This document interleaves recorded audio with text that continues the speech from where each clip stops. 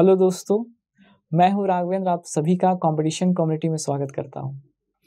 हम लोगों ने लास्ट क्लास में बाल, महिला बाल विकास से संबंधित जो विभागीय योजनाएँ हैं, उस पर हम चर्चा कर रहे थे और इसको हम लोग तीन सेक्शन में बांटकर पढ़ने वाले थे। जिसमें हम लोगों की पहली राज्य सरकार की योजनाएँ, एक आपका जो संस्थाएँ हैं, उसके बारे में और केंद्र सरकार की योजनाएँ देखनी थी। तो जो विभागीय संस्थाएँ हैं, हम लोगों ने पहले उसको स्टार्ट किया था क्योंकि वो छोटा टॉपिक था। उसमें हम लोगों ने नारी निकेतन को पढ़ लिया था। रहने के लिए वो चार चीज़ें थी। जो बची हुई चीज़ें हैं, आज उस पर हम लोग चर्चा करते हैं। तो सबसे पहले हम लोग नारी निकेतन देखे थे। उसके बाद नेक्स्ट जो है बाल गृह ठीक है? तो ये समझना है कि ये बाल गृह क्या है, ये कैसी, किस प्रकार की संस्था है। तो सबसे पहले हम समझते हैं कि बाल गृह क्या है। तो देखिए ये जो बाल गृह है, इसमें प्रवेश जो है 18 वर्ष तक ही मिल पाता है। ठीक है 18 वर्ष तक के बालक और बालिकाओं को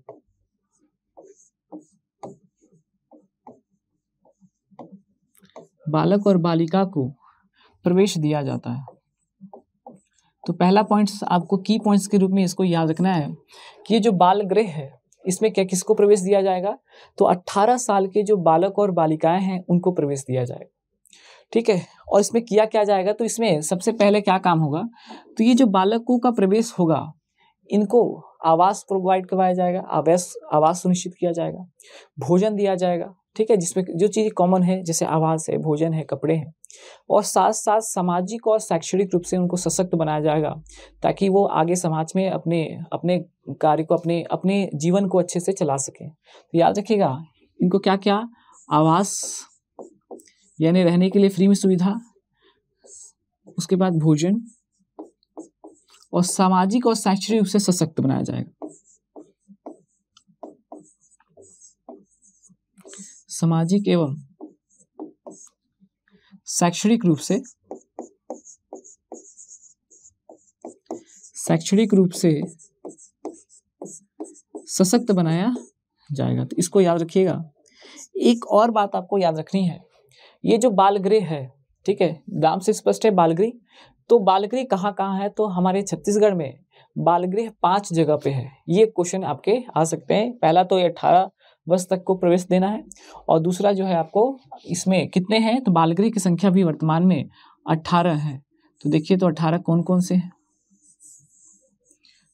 तो आप एक मैप बना लेंगे छत्तीसगढ़ का छोटा सा उसमें देखें सबसे पहले, ये हमारा हो जाएगा कवर्धा यानी कबीरधाम।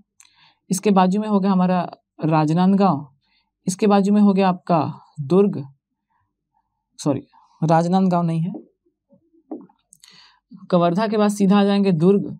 दुर्ग के बाजू में आपका रायपुर, ये बिलासपुर और ये जगदलपुर। यानी ये जो बाल गृह है, ये पाँच जिलों में भी संचालित हो रहा। है कितने जिलों में संचालित हो रहा है? तो पाँच जिलों में ये बाल गृह संचालित हो रहा है। इसको आपको याद रखना है, ये फैक्ट्स को। कितने ज़िले हैं? तो देखिए एक बार और देख लें। सबसे पहला, बिलासपुर। इधर हो जाएगा आपका आपका, कवर्धा, कबीरधाम।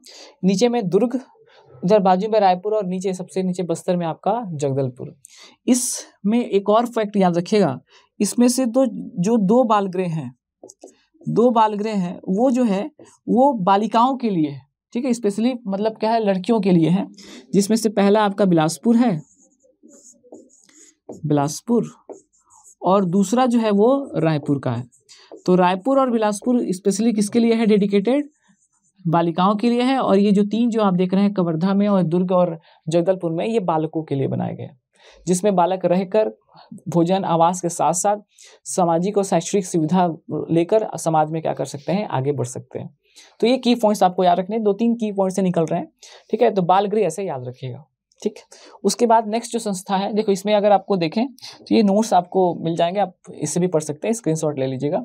वही चीज़ है, अठारह वर्ष तक के बच्चों को प्रवेश देंगे। पाँच जगह संचालित है कहाँ कहाँ है? कवर्धा में, जगदलपुर में, दुर्ग में और रायपुर और बिलासपुर। बालिकाओं के लिए बिलासपुर और रायपुर संचालित किया जा रहा है और बाकी किसके लिए है? तो बालकों के लिए है।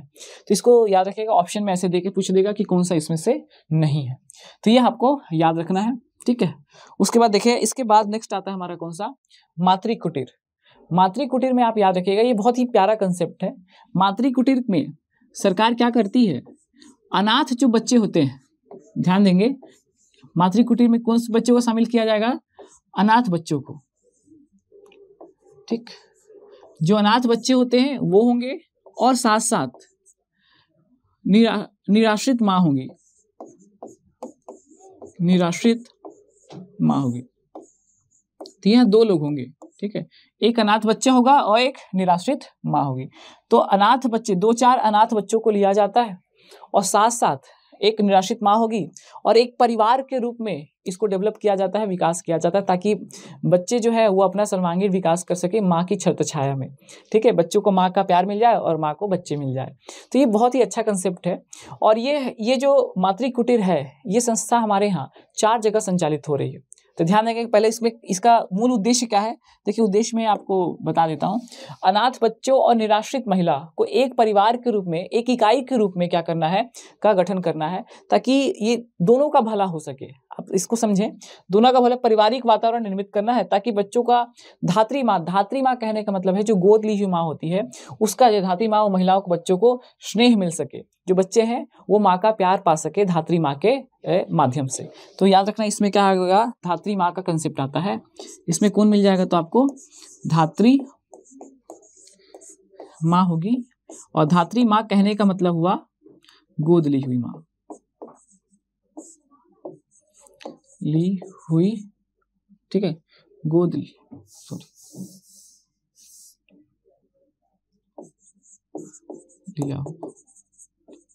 ठीक तो ये धात्री माँ का कंसेप्ट याद रखिएगा। धात्री माँ का कंसेप्ट किसमें आता है? तो मातृ कुटीर में आता है, इसको थोड़ा सा याद रखना है, ठीक?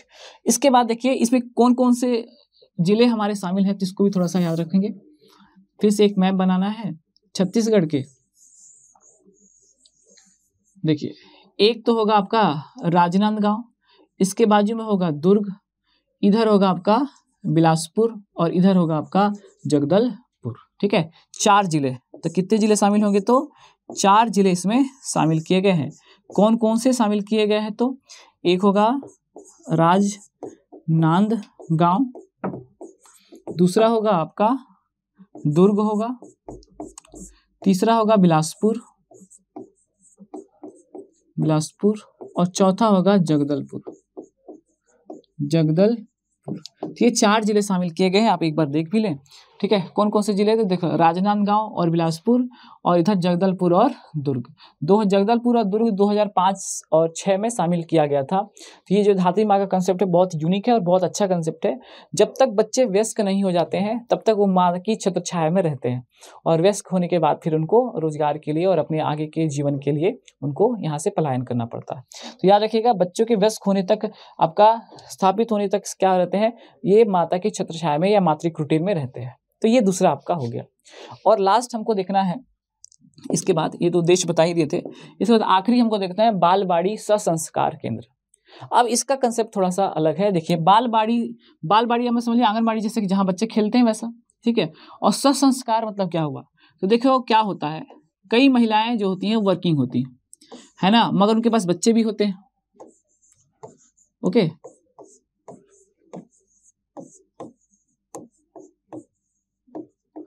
याद रखिएगा। इसमें देखो, सबसे पहले क्या होगा? छः से, ज़ीरो से छः साल तक के बच्चे, जैसे जो अभी नौ युवक होते हैं, अभी भी जो बच्चे जन्म लेते हैं छः से ले, ज़ीरो से लेकर छः वर्ष तक। तो माँ को बहुत दिक्कत होती है कार्य करने में। ठीक? बच्चे बहुत परेशान करते हैं, है ना? खेलते हैं, बहुत सारे ऐसी एक्टिविटीज़ करेंगे जिसको, जिसके लिए माँ अगर थोड़ा सा ध्यान गया तो बच्चे कुछ भी कर सकते हैं, ठीक है? कुछ दुर्घटना भी हो सकती है तो माँ को बहुत केयर करना पड़ता है और उस समय वो सीखने की भी लर्निंग की भी बहुत अच्छी स्टेज मानी जाती है। तो ये देखिए, जब जब माँ वर्किंग होती है तो वहाँ पर होगा क्या? तो यहाँ पर क्या होगा? क्या होगा? जब माँ जाएँगी काम करने तो वहीं कार्यस्थल पर एक आपका क्या बना देंगे? बाल बाड़ी बना देंगे। क्या बना देंगे?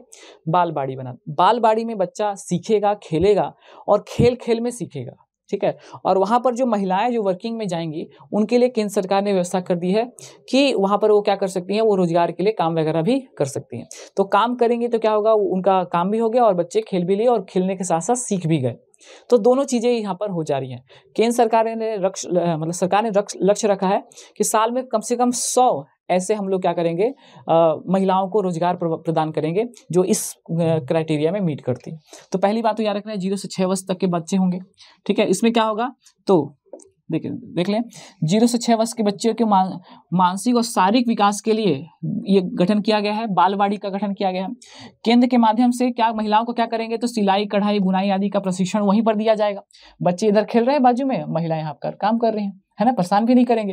और उसके साथ इन केंद्रों के माध्यम से वर्ष में कुल कितने तो सौ हितग्राही हितग्राहियों को लाभान्वित किया गया। ये इसको याद रखिएगा कितने हितग्राही है तो सौ हितग्राही। और कहाँ कहाँ पर ये संचालित किया जा रहा है? तो इसके लिए आपको याद रखना पड़ेगा एक मैप से। हमारे यहाँ दो जगह है।